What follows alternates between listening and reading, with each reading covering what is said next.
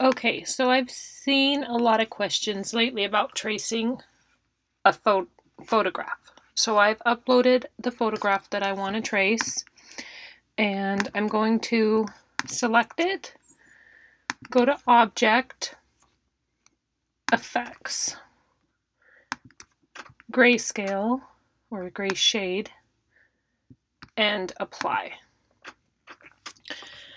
Now when it comes to tracing, obviously select trace and then highlight the part of the photo that I want. Let me move this over. I don't want to get that. Okay, and then high pass. And I'm just going to play with that a little bit. Right there should be good.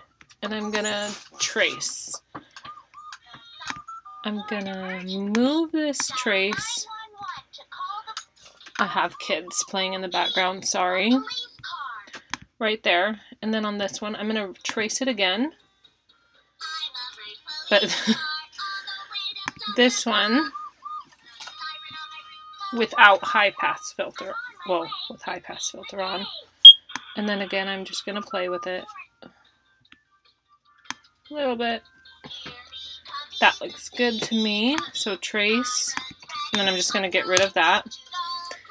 And then what you want to do, since you've traced once with high pass, once without, is align it. And for that I zoom in, select one of them, just get where you think, right there should be good. Zoom back out. And then I'm going to weld. Now this usually takes a little bit. I don't know if it's just my computer or everybody's, but when I'm welding something with a lot of detail, it takes a while. So let's see how long this is going to take. I wish I could make it go faster. Or I knew what to talk about while this was happening. Because now we're going to have some awkward silence with a child whining in the background.